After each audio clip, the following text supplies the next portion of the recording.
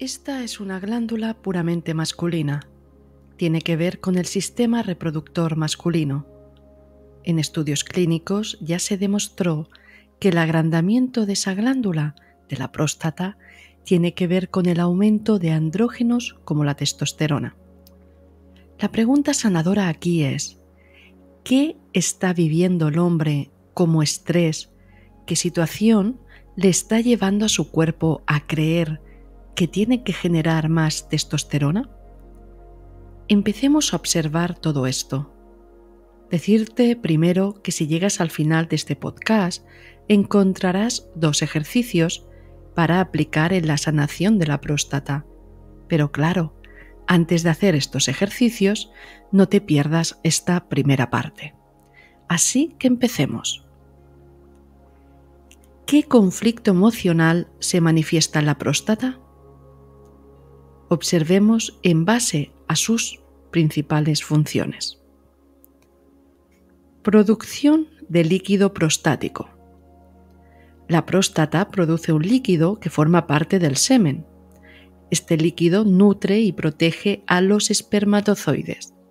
En algunos casos, este líquido no tiene fuerza alterando el volumen y calidad del semen.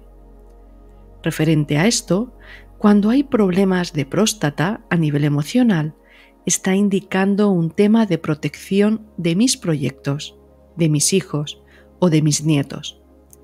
No soy capaz de sentir que pueda proteger mi descendencia o semilla. O soy mal padre o seré mal padre. O soy también relevado en mi función masculina de padre de protector de mi progenie. Aquí encontramos casos de padres que son relevados en sus negocios familiares y sus hijos heredan el negocio familiar y ellos se jubilan y sienten un conflicto por pérdida de masculinidad. También aquí se esconden heridas emocionales y percepciones negativas respecto a la paternidad debido a culpas transgeneracionales de no ser capaz de sostener y proteger a la descendencia. Otra función es el transporte del semen. Durante la eyaculación, la próstata ayuda a expulsar el semen a través de la uretra. Y a nivel emocional significa lo mismo que antes, pero también involucra el tema de placer sexual o si es debido tener ese sexo hay un sentimiento de no puedo tener sexo como me gustaría porque no me permito sentir ciertos deseos que creo que no es correcto tenerlos. Veamos un ejemplo. Un hombre que se siente culpable por sus fantasías sexuales o que reprime sus deseos porque los considera inapropiados. Por ejemplo, si alguien fue educado en un ambiente muy estricto, con respecto a la sexualidad, podría reprimir sus deseos, lo que eventualmente podría manifestarse como problemas prostáticos. Veamos otra función, el control urinario. La próstata tiene un papel en la regulación del flujo de orina, ya que rodea la uretra y puede influir en su apertura y cierre. Y a nivel emocional, representa que contengo mis emociones o no las controlo porque he perdido la capacidad de filtrar lo que siento. O necesito marcar mi territorio constantemente, pero no sé cómo hacerlo, siento pérdida de control de mi marcaje y no sé cómo adaptarme a esta nueva situación. Veamos otros casos de conflicto emocional en la próstata. Caso 1. Sentir que debe procrear más. Un hombre, a pesar de tener una familia grande, siente una presión interna por no haber hecho lo suficiente para asegurar la continuidad de su linaje. Observa cómo algunos de sus hijos han decidido no tener hijos propios y esto le genera una ansiedad profunda sobre la permanencia y la protección de su semilla en las futuras generaciones. La preocupación constante sobre si ha hecho suficiente para garantizar la continuidad y el bienestar de su familia se está somatizando en su próstata. Así que cuando hablas con este hombre, una de sus mayores preocupaciones y frustraciones es no tener nietos. Veamos el caso 2. Sentir que no debería haber procreado, todo lo contrario que el caso 1. En este extremo del espectro emocional, otro hombre a veces reflexiona sobre las dificultades que su familia ha enfrentado. Algunos de sus hijos han tenido problemas financieros, de salud o personales. Esto le lleva a un lugar de profunda culpa y autorrecriminación, pensando que quizás no debería haber traído hijos al mundo para que sufran. Esta sensación de incapacidad para proteger a su familia se manifiesta en problemas prostáticos, específicamente la producción de líquido que nutre y protege a la semilla. Es decir, no puede proteger a sus hijos, siente frustración y hay un sentimiento de frustración por la incapacidad de no poder protegerlos, reflejado y proyectado en ese descenso del líquido prostático. Veamos ahora qué problemas hay en la próstata. Empecemos. Nos encontramos con la prostatitis o llamada inflamación de la próstata. También hay la hiperplasia prostática benigna y el cáncer de próstata. La hiperplasia se suele presentar más debido al envejecimiento o a temas hormonales, mientras que la prostatitis es la inflamación de la próstata que puede ser causada por una infección bacteriana o no bacteriana.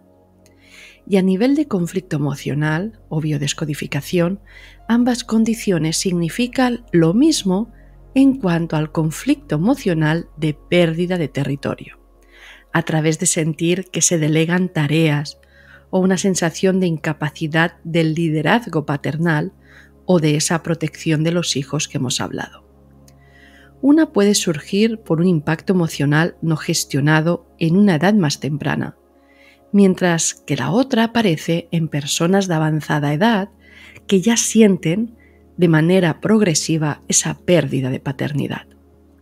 Ha habido casos de padres que han perdido hijos debido a separaciones graves, incluso fallecimientos, y posteriormente, cuando se activa esa herida emocional, pueden desarrollar problemas en esta próstata. Y cuando aparece el cáncer de próstata, se trata del mismo conflicto anterior, pero intensificado, reprimido con fuerza y acompañado de un gran peso de culpa, resentimiento. Y además hay un sentimiento de no merecimiento y una sensación de no tener derecho a la vida por creer que hemos hecho las cosas mal.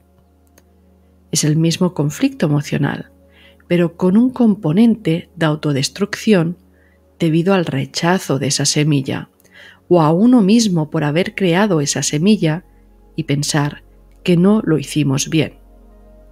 Un ejemplo puede ser un padre que se autorrecrimina y se odia por no haber podido dar lo mejor a sus hijos o porque siente aversión hacia sus hijos al no haber cumplido sus expectativas. Al final, el tema de la próstata nos enseña una gran lección. Este es un tema de relación con las expectativas paternas y la gestión emocional.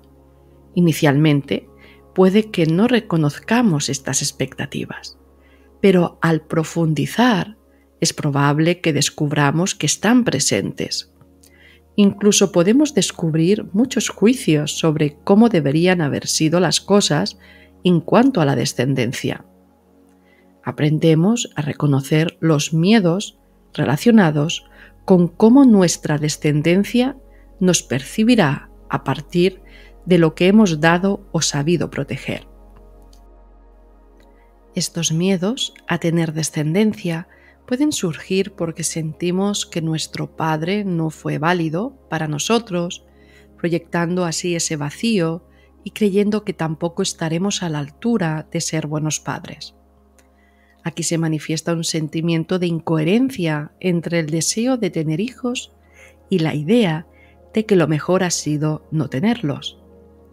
Y la cuestión es cómo gestionar esto. Pues aplicando una retrospección, reconociendo tu situación y aceptando estos factores emocionales que han estado presentes, quizá de manera soterrada o inadvertida. Pero si indagas con honestidad, verás que en algún nivel está todo eso. El siguiente paso, una vez identificado, es soltar todo ese peso, perdonarte y estar dispuesto a cambiar esa perspectiva y narrativa respecto a ese sentimiento. Por ejemplo, soy mal padre porque no he dado lo mejor o lo que merecían mis hijos. Aquí reflexionas sobre ese peso interno y eliges soltarlo. Dices, vale, lo lloro, reconozco este sentimiento en mí, pero ahora sé que aunque lo sienta, no significa que sea verdad. ¿En qué se basa este concepto creado dentro de mí? Comienzas a observar todos los puntos en los que has actuado bien y a decirte a ti mismo, merezco perdón y no resentimiento hacia mí mismo. Me perdono, no es para tanto. Y observas que tus hijos han elegido sus experiencias. La vida no es lo que uno espera. Las expectativas solo nacen para ser devueltas a su nada. Suben para bajar y debemos aprender a trascender los juicios y autorrecriminaciones por expectativas sociales o familiares sobre lo que es ser un buen o mal padre. Lo importante es poner amor más allá de todas estas etiquetas que te autoimpones o temes que te impongan otros. Siempre explico que la salud no solo es algo físico, sino una educación mental, una educación del pensamiento ante todo. Veamos ahora la medicina china en la próstata. En la medicina tradicional china se considera que los problemas de próstata están relacionados con la debilidad del riñón y la necesidad de equilibrar la energía renal. La energía del riñón en la medicina china está vinculada con la vitalidad, la voluntad y la fuerza de vida. Un desequilibrio en esta energía indica sentimientos de incapacidad, miedo, o falta de confianza en uno mismo en estos aspectos. Y aquí se enseña que un riñón débil no puede procesar correctamente los fluidos, lo que lleva a la generación de flema y humedad. Y esta flema y humedad pueden acumularse en la próstata, provocando ese agrandamiento. ¿Qué significa estos flemas y humedad? Nada más que las preocupaciones y la tristeza. Sin embargo, al hombre le cuesta procesar la energía de la tristeza. La tristeza que no se procesa adecuadamente y genera una carga emocional significativa está ahí. Es una carga emocional que se manifiesta en el cuerpo, con desequilibrios físicos, e incluye esa debilidad del riñón. Por otro lado, tenemos este desequilibrio hormonal, es decir, la impotencia emocional y física provoca un deseo inconsciente de mejorar la situación mediante un aumento de testosterona. Y la testosterona, como hormona clave en la energía masculina, el vigor y la confianza, se ve como una solución biológica para contrarrestar estos sentimientos de impotencia. Así que, ¿qué trabajarás aquí? La gestión de esa tristeza. Permítete sentir el valor que le has dado a tus creencias en torno a tu merecimiento, a soltar las culpas, las creencias sobre qué es una buena paternidad. Analiza los juicios o sentimientos de abandono o reproche que has podido tener hacia tu padre, o aquello que la sociedad espera de ti. Cuestiona todos esos roles, observa la libertad de experimentar de los hijos, sin sentir culpa referente a tu paternidad. Observa cómo nadie puede quitarte tu lugar de pertenencia, cómo eres válido, sin necesitar imponerlo o sentir el miedo a perder tu reconocimiento o lugar. Así que ánimos y adelante con este tema de sanación de la próstata. Veamos la visión de las constelaciones familiares o el transgeneracional referente a la próstata. Si aquí tiramos del hilo desde una visión holística, buscaríamos además sanar e incluir a todos esos hombres anteriores a ti, si eres hombre que padece próstata, pues que se han sentido excluidos, o han necesitado marcar su territorio porque su testosterona no es reconocida, ya sea por dinámicas familiares en que la mujer ha sido muy anuladora del hombre ante los hijos, es decir, la madre hacía pequeño al papá ante los hijos. Estas situaciones se reconocerían y perdonaríamos y soltaríamos todas las creencias derivadas de esos impactos traumáticos sin resolver pero que se han construido como enagramas o resortes en el inconsciente familiar que se activan ante situaciones similares de percibir que la hombría no es valorada. Veamos ahora otro aspecto, más espiritual. ¿Qué diría un curso de milagros sobre este tema? Diría que todas estas ideas o creencias sobre paternidad, sobre responsabilidades, sin capacidades que no tienen peso, y solo que este peso que le hemos dado a este tema es creer en ello, pero que en realidad no son verdad, ni siquiera existen como realidad. Tú le das forma en tu mente y tu mente está fabricando esta realidad que crees padecer. Sin embargo, el curso de milagros nos enseña otra cosa fundamental, que no somos un cuerpo, ni el otro que creemos que nos ataca tampoco es un cuerpo, ni nada de lo que aparenta suceder está sucediendo. Así que el perdón auténtico es reconocer que nadie te ha atacado porque no existe este mundo de separación ni cuerpos. Todo está en la mente que está creyendo esto. Pero, ¿cómo enfocar este concepto más metafísico en el padecimiento de próstata? Reconocer que estás reaccionando emocionalmente a algo que no es verdad. Tomas conciencia de lo que has creído, es decir, reconozco que mis hijos ya no valoran mi paternidad ni me tienen en cuenta. O por ejemplo, un abuelo que se va a vivir a casa de su hija y cuando ve que valora más a su marido que a él, que su padre, coge próstata. El abuelo es callado, no dice nada de sus emociones, pero su inconsciente las está sintiendo. El abuelo es educado, pero su inconsciente siente amenaza y pérdida de paternidad y liderazgo.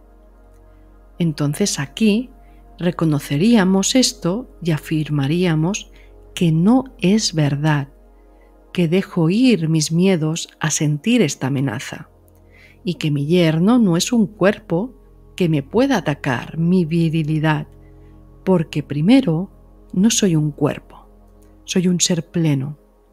Y además no somos un cuerpo, sino una solamente en Dios, en paz y dejamos nuestra visión errada al Espíritu Santo que la corrija en la mente. Y no me la corrige a mí porque pobre de mí. Así no funciona, porque si no ya estás diciendo que eres un cuerpo, un ego y no eres lo que Dios ha creado, su extensión de amor. Pero esto daría para otro podcast solo para hablar del curso de milagros. Así que continuemos con el tema de la próstata y veamos ahora los ejercicios a realizar sanadores. Puedes realizar por ti mismo estos ejercicios o si eres terapeuta aplicarlos a tus clientes, sino también tienes la opción de nuestro acompañamiento en consulta en ilustreambar.gmail.com o biohemoterapia.com. Lo dejaré en los comentarios y la descripción. Empecemos por el ejercicio 1, que son preguntas indagadoras. coge papel y bolígrafo para estas preguntas que vas a responder. ¿Qué situaciones recientes me han generado estrés o preocupación? ¿Siento que he perdido control o autoridad en algún aspecto de mi vida? ¿Qué expectativas tengo sobre mi rol como padre o figura masculina en mi familia? ¿Existen sentimientos de culpa o insuficiencia respecto a mi capacidad de proteger y cuidar a mi familia? ¿Cómo percibo mi masculinidad y mi papel en la familia? ¿Qué miedos tengo sobre la percepción de mi descendencia respecto a mis acciones y decisiones? Reflexiona sobre tus respuestas y trata de identificar patrones o temas recurrentes que puedan estar contribuyendo a tu conflicto emocional. Veamos ahora el ejercicio 2. Es una visualización sanadora de esta energía bloqueada que tiene que ver con emociones de frustración. Siéntate o acuéstate en una posición cómoda y cierra los ojos. Respira profundamente varias veces, inhalando por la nariz y exhalando por la boca. Y en este ejercicio vas a imaginar un lugar tranquilo y seguro. Puede ser un paisaje natural, una habitación acogedora o cualquier lugar que te haga sentir en paz. Y aquí visualiza tu próstata. Imagínala como una esfera de luz brillante, Nota cualquier área que parezca oscura, pesada o bloqueada. Enfócate en esas áreas oscuras, como una esfera de luz que va a estar en esas áreas oscuras y que empieza a moverse y a limpiar. Visualiza esta corriente de energía limpia y pura, fluyendo hacia estas áreas y observa cómo esta energía sanadora disuelve esta oscuridad y pesadez. Se está limpiando, purificando, liberando la energía bloqueada, donde sueltas las emociones de frustración. Y aquí permítete sentir cualquier emoción que surja, si es tristeza, frustración o alivio. Déjalas fluir sin juzgarlas. Este es un ejercicio de visualización que puedes añadir utilizando las respuestas del ejercicio 1 para soltar esa carga emocional que has identificado en las respuestas del ejercicio 1. Y en el ejercicio 3 hay un fortalecer el sentido de merecimiento y valoración personal y aquí puedes escribir una lista de afirmaciones positivas sobre ti mismo. Aquí te dejo unos ejemplos. Merezco amor y respeto. Soy un buen padre, madre, figura de autoridad. Hago lo mejor que puedo para proteger y cuidar a mi familia. Me perdono por mis errores y acepto mi humanidad. Soy valioso y digno de ser reconocido aunque no vea resultados en mis hijos, me siento en paz con mi paternidad. O si no tienes hijos, puedes decir, me siento en paz con mi camino de vida y no existe el fracaso sino el merecimiento. Y cada mañana y cada noche lee estas afirmaciones en voz alta. Así que gracias por llegar hasta aquí y nos vemos en el próximo podcast, que hablaremos de la vejiga.